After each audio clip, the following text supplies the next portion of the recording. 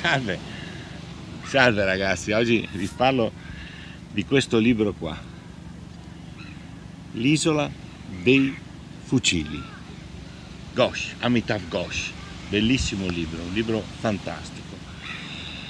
Qual è la storia? La storia è questa, il protagonista è un mercante di, di libri antichi, un antiquario, che vive tra New York e Calcutta. Lui è nato a Calcutta, è di Calcutta e passa spesso i mesi invernali eh, nella sua patria.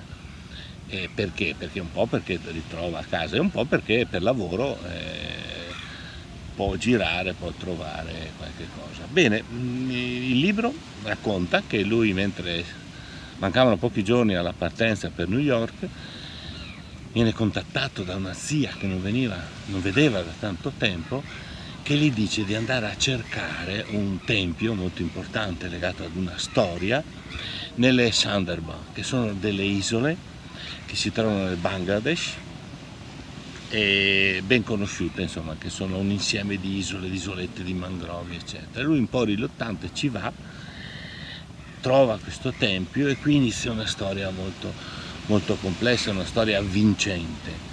E il libro si svolge, la, tutta la storia si svolge fra queste isole, tra Calcutta, tra New York, dove abita questo, e a Venezia.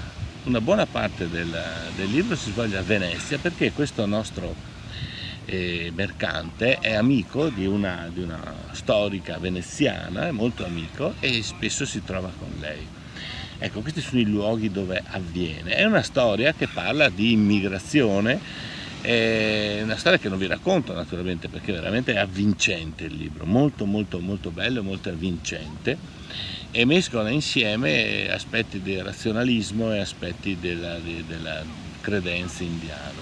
Ecco, qual è la, l'aspetto che rende veramente interessante questo libro, la capacità che ha l'autore di mescolare insieme due civiltà, la civiltà razionalista, razionale, occidentale e la eh, mentalità, insomma la società indiana che è più legata a tradizioni, più legata a storie, più legata a favole, più legata al sovrannaturale. E, e, e questo confronto continuo è veramente interessante per esempio per quanto riguarda la tecnologia, le nuove tecnologie, è molto bella eh, una scena quando lui eh, si trova a contatto con, questo, con, un ragazzo in queste isole in condizioni ovvia, terribili e questo ragazzo spiega, eh, usa il cellulare, internet in modo molto più, più utile di lui stesso.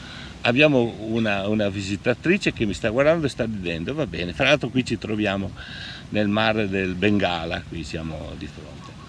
E benissimo, ma come fa Ghosh a essere così? Perché lui stesso è figlio di due civiltà, lui è di Calcutta, esattamente come il protagonista, è di Calcutta, vive a New York e mescola queste due cose, come la Desai, se conoscete la Desai ha fatto dei libri molto belli da questo punto di vista.